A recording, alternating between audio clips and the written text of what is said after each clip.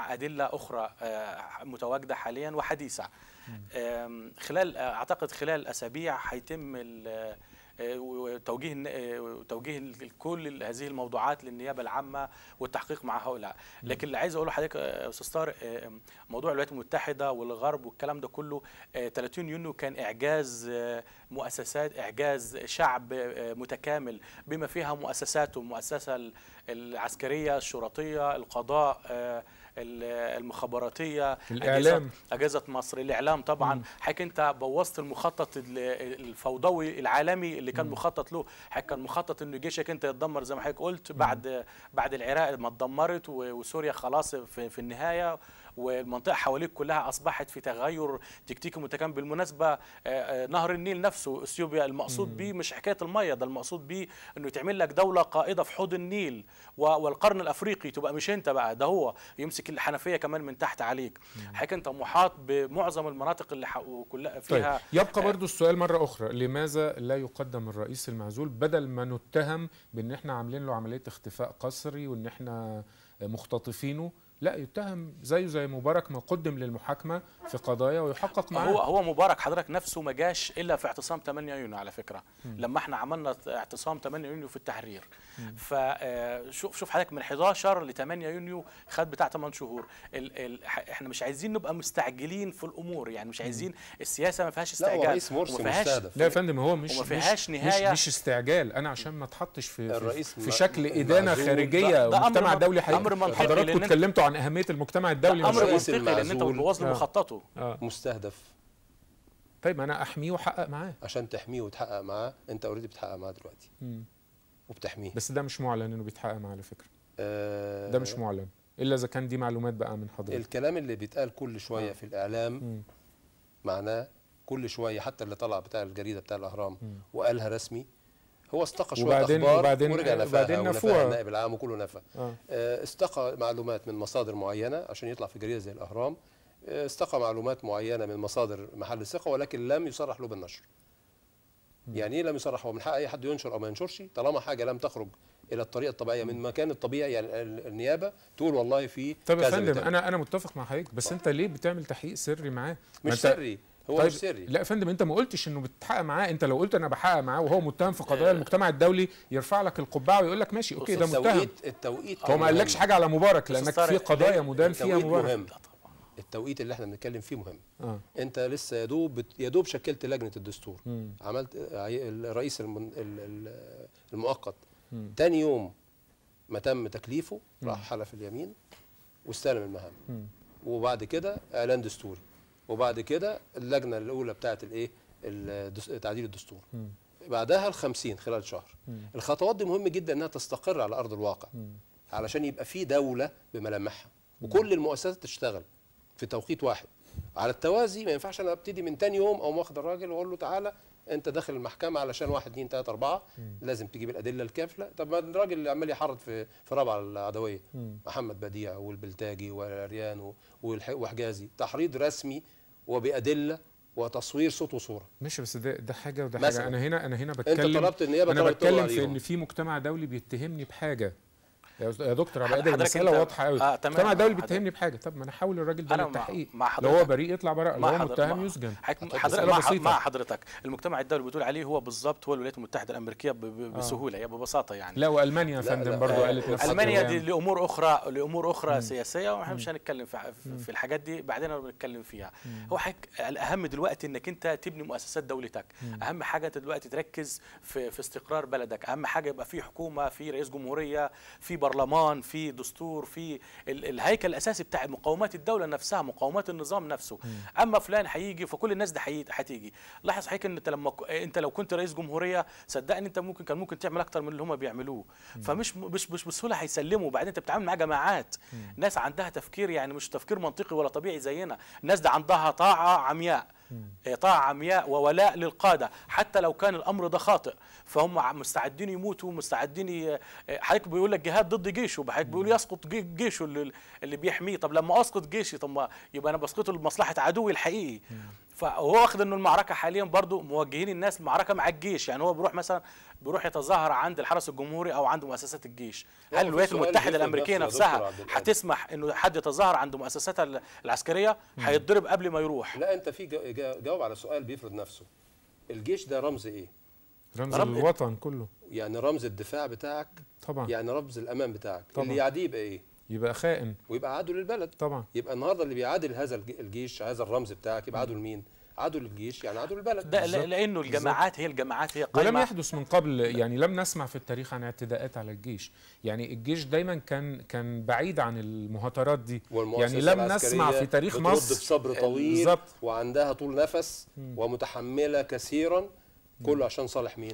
آه، آه، يا أستاذ طارق صالح. لأن الجماعات عندها فيها جزئية متعارضة تماما مع مع الدولة الحديثة وهي إن الجماعات دايما عندها جناح عسكري آه، فاتنين دايما في اتنين بيتنازعوا في الحالة دي في الدول الش- الشرق الدول النامية بيتنازعوا على القوة ذات القانون وهي الجيش جيش الدولة زي. الجيش المصري اللي هو بيمتلك قوة القانون اللي هو القوة بقوة القانون.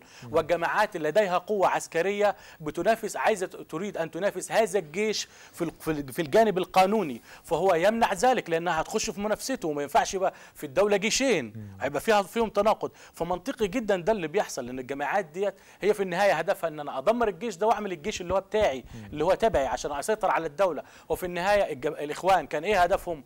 أهم شيء عنده كان بالنسبة له هو يسيطر يتخلص من الجيش ده لأنه هو اللي عامل له المشكلة كلها. ولاحظ إنه ده صراع تاريخي حضرتك من من 52 اللي عايز أقوله كان في اللي هو طارق كان كاتب حاجة حلوة عجبتني. آه، عايز أقول الناس تسأل نفسها هل طنطاوي سلم البلد للشعب ولا سلم الإخوان للشعب؟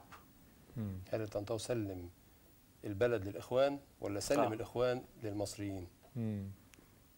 والله ده سؤال صعب جدا. آه، مش عارف نحاول نجاوب عليه. عندنا فاصل ولا ما عندناش؟ عندنا فاصل يا جماعة؟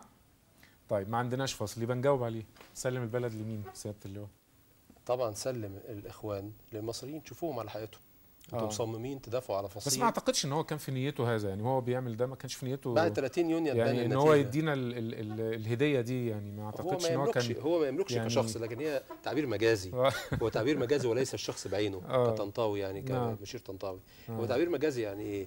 يعني الاختيار في الأول والآخر للشعب وأنتوا أصحاب القرار تمام في بعض المقولات لا ده في انتخابات كانت شفيق وبعدين راحت مش عارف لمين ضغوط أمريكية. سيبك من كل الكلام ده.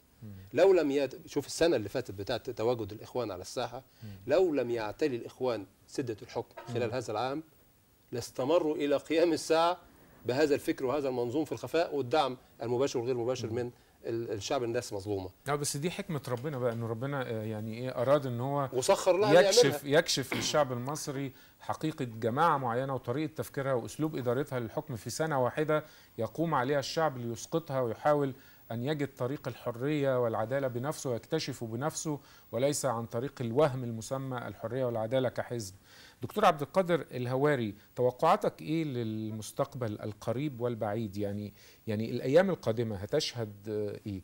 هتشهد إن الناس ال- ال- اللي في رابعة في النهضة هتنفض الوضع الأمني هيستقر هيحصل افتعال ولا هتلجأ الجماعة لعمليات تصعيد عمليات العنف واغتيالات لبعض الرموز وتفجيرات والقنابل اللي بنلاقيها في بعض الأماكن؟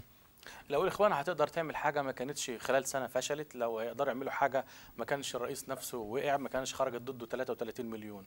هم كل اللي هيقدروا يعملوه هو اللي هو بيعملوه حاليا دي تكتيكات. أما في اشاعات الاغتيالات وإشاعات مش عارف الكلام ده كله آه، من ثلاث شهور بالظبط كل واحد فينا معروف بيعمل إيه وهيعمل إيه وقدراته إيه. مفيش حد هيقدر يعمل أي حاجة ضد الدولة المصرية. المستقبل أعتقد آه، أتمنى له إن يحصل فيها حاجة اسمها عدالة انتقالية.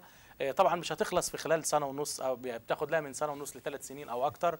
آه، مهم جدا في العدالة الانتقالية المحاكمات ضد الفاسدين ما ارتكب أي جرم ما ارتكب أي فساد وإعطاء ال- الشهداء والمصابين حقوقهم المادية والمعنوية والقانونية. وزارة العدالة الانتقالية تعتقد إن دي كانت مهمة لإنجاز هذا الموضوع؟ يعني آه. آه، طبعا أنا عامل كتاب في العدالة الانتقالية ومقدم للرئاسة ومجلس الوزراء مشروع قانون في العدالة الانتقالية أعتقد هم يقعدوا يكتبوا فيه بتاع شهرين على الأقل. أنا مقدمه لهم جاهز هيفضلوا يعدلوا فيه. ده ده كويس جدا يحسب للحكومة الحقيقة كمان الحكومة أغلبها آه، اقتصاديين آه، أغلبها آه، ناس ذا- ذات خبرة. ولكن في النهاية هي حكومة انتقالية وفي خريطة طريق أستاذ طارق خريطة طريق موجودة وافق عليها الشعب أيضا برضه يعني مش حطها حد بمزاجه أو من دماغه. الجيش نفسه لما فكر يحطها جاب كل القوة جاب القوة كلها تقريبا واستشارها في خريطة الطريق. تمام. وعلينا إن إحنا نشوف خريطة الطريق موديانا لحد فين. الدستور نفسه آه، الناس بتقول عايزين يغيروه كله أو يعدل من حق أي حد يغير أي مادة ومن حقه يتقدم أنا عايز أعدل أي مادة. يعني الدستور كله مفتوح للتعديل. يعدل ولا كان المفروض ينسف يعني ويقام دستور جديد؟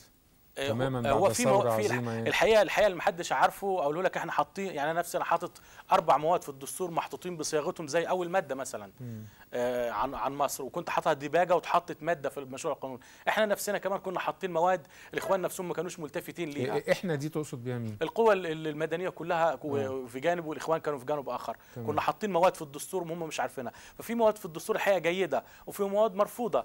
فبدل ما نبدأ من الأول ونخش في مشكلات تمام. حتى وضع الجيش على فكرة اللي, اللي عنده بعض الاعتراضات من حقه يتكلم فيها ويقول أنا عايز أعدلها أو يتناقش فيها. تمام. وأيضا في المستقبل القريب حضرتك يمكن آه، كنت أشرت آه، قبل التصوير آه، إلى فكرة آه، ضرورة تعديل آه، الملاحق الأمنية لكامب ديفيد أو حاجة من هذا القبيل؟ مش تعديل الملاحق إنما الوضع اللي كان آه، سينا بالنسبة لنا مم. طبقا لده كان بديفيد كانت السيطرة الأمنية المطلقة مش موجودة في مم. سينا بالظبط آه، بعد اللي حصل وبعد 30 يونيو النهارده القوات المسلحة موجودة في سينا باتفاق طبعا مع مم. الجهة اللي هي الطرف الآخر في الاتفاقية موجودة بشكل قوي مسيطرة بنسبة كبيرة على سينا مم. آه، حكاية التعديل من عدمه ما عادش يعني كتير لأن الأرض على أرض الواقع ثبت إن في أسلوب معين للتعامل مع ملف سينا ومع الطرف اللي إحنا آه، عاملين معاه اتفاقية سلام. الفكرة ملخص للي إحنا فيه إحنا دلوقتي بنمر بأزمة. يعني يعني بعد عملية سينا دي معلش عفوا سياده اللواء، بعد عملية سينا دي عندما تنجح مم. في المستقبل القريب إن شاء الله تنجح. هل هتعود آه، القوات القو- المسلحة لورا تاني بعد لورا تاني وكان ونسيب شايل الأرض دي فاضية تاني؟ الكلام ده؟ وتاني ترجع البؤر الإرهابية دي تاني؟ شوف يا أستاذ طارق. عشان تحقق أمن بسم الله الرحمن الرحيم مم. لإيلاف قريش إيلافهم رحلة الشتاء والصيف. فليعبدوا رب هذا البيت الذي أطعمهم من جوع وآمنهم من خوف تمام عشان تحقق اللي ربنا قاله ده اللي هو أول الأمن اللي إحنا در... يعني شوف بنقول ال- الأمن ظهر بعد. الم- المصطلح الحديث ده بعد الحرب العالمية الثانية الكلام ده أصلا عندنا إحنا في الإسلام من أول بدايته مم. والكلام واضح ربنا قال لنا فيه إيه مم. عشان تحقق استقرار في مكان يبقى لازم يكون فيه أمن وأمان بالظبط يبقى لازم سينا دي يبقى في سيطرة أمنية عليها مم. عشان تحقق نهضه لسينا. يبقى بالتالي ما ينفعش تشيل إيدك تاني وترجع البؤر تتكون يبقى تاني. لازم تتعدل يبقى الملاحق الأمنية من غير بتاع الكامب تعديل في اتفاقيات بتبقى تسقط الاتفاقية خالص؟ بالعرف. آه. بالاتفاق. ما هو إحنا بس موجودين في يعني ال ال ال الأنصار الاتفاقيه دي يقول لك لا أصل كده أنت تعلن الحرب على إسرائيل. ما هو صالح مين؟ ما هي دلوقتي ساكتة ليه؟ لصالحها. ما هي عاملة صواريخ على الحدود. تحسبا إن يطلع أي صواريخ تعمل لها إسقاط. كل الكلام ده تنسيق علشان يبقى في مكان آمن ومستقر. مفيش خطة حرب مثلا معلنة على إسرائيل أو إن المكان بتاعنا إحنا ما بن- إحنا مش دوله حرب. مم. اللي بيحصل في رابعه والميادين ده مستقبله إيه؟ شايف إنه الدنيا هتهدى؟ مستقبله إن هيفضل زي الحاجة اللي بتفرفر كده. هتفضل كده إيه؟ تاخد وقت طويل؟ شوية. هو أصلا زي ما قلنا إن مفيش عندنا لسه مفهوم الديمقراطية الطبيعي. مم. وما كانش هدف من أهدافنا وإحنا قايمين بالثورات. إن يبقى في مطالبة بالديمقراطية. كلمة الديمقراطية في حد ذاتها مفهوم بالنسبة لنا إحنا في تطبيقه لم يتم تطبيقه طوال العقود اللي فاتت. ولو كان تم ما كانتش قامت ثورات وبالتالي عشان يتفهم عايز وقت وعايز كتير يعني أمريكا قعدت 108 سنة عشان يبقى في ديمقراطية ويتفهم إحنا- المفهوم لا، بتاعها إحنا هنقعد ما نقدرش. نستحمل أصلا سنتين. ثلاثة مش سنة ولا. اتنين الشعب المصري وبت- بيحرق مراحل سريعة قوي الشعب المصري. هناخد التحول ال- الديمقراطي هيستمر من 8 ل 10 سنين على الأقل على الأقل عشان يبدأ بس تكون مصر طلعت بقى للأمام يبقى رابعة والنهضة عشان يخلصوا آه. هياخدوا وقت شوية آه. هياخدوا شيء من التصفية التدريجية بالهدوء. النسبي وفي طريقة تانية إذا حصل تصعيد طريقة تانية إذا حصل تصعيد اللي هي ما هو التصعيد بيقابله بقى التصعيد بقى يقابله مواجهة يعني حقيقية طبعاً. بقى طبعاً. حسم يعني حسم الصبر بالظبط. ممكن ينتهي. ممكن ينتهي لأن أنت يعني إيه مش ه- هيسمح بدم مش كتير هيفضل يعني. الصبر كتير ولا هيفضل الحلم يعني طويلا يعني بمعنى احتمال ما لا آه، يحتمله الوطن ولا امنه القومي الحقيقة أنا في نهاية هذه الحلقة بتوجه بالشكر للواء مهندس طارق حبيب وللدكتور عبد القادر الهواري المحلل السياسي. بشكر حضراتكم. حاولنا في هذه الحلقة أن نناقش الأمن أمن المواطن وأمن الوطن من كل الأبعاد سواء أمن سينا أو أمن الشوارع والميادين وإحساسنا الشخصي بالأمن وفكرة تحقيقه كيف تتم وأنه سيادة القانون يجب أن تكون هي المظلة الحقيقية. لنبذ كمان أي عنف أو أي محاولة لحمل السلاح. حفظ الله مصر وجيشها وشعبها من كل أذى ونتمنى بالفعل أن تتقدم مصر إلى الأمام وسيحدث هذا قريبا بإذن الله. إلى اللقاء وحلقة جديدة والأسبوع الثقافي.